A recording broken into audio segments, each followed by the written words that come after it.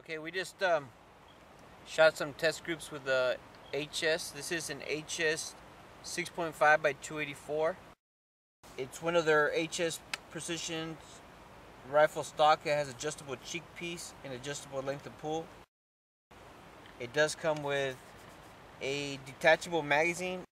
Because of the caliber, it only fits three rounds. It's a 26 inch barrel. The barrel comes threaded for with a thread protector and it also comes with a muzzle brake from factory. We are using some Badger rings and a Badger floor plate, a Leupold um, 6.5 by 20 by 50 objective with a TMR reticle,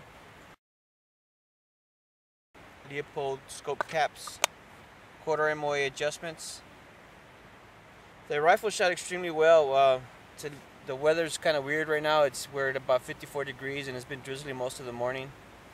So um, what we have here is one of the test patterns we shot is three rounds. Um, two are, are almost in the same hole and the other one is off to the bottom here.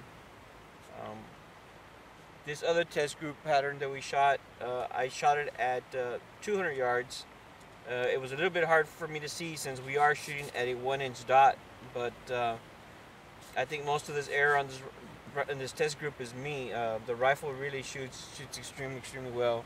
Very very little recoil, no recoil, almost no recoil at all. So um, a a tactical knob was added. Um, to me, it seems like it might be a little bit long. We're gonna try to see if we can figure something out and make it a little bit short. But after, besides that, the rifle shot extremely, extremely well.